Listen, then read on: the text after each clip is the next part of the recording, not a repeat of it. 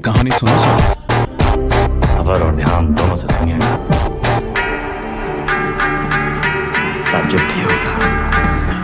आप अच्छी तरह जानते हैं सर कि मेरी कहानी का सिर्फ़ एक ही पहलू नहीं होता है। कहानी में तो दोनों बुरे हैं।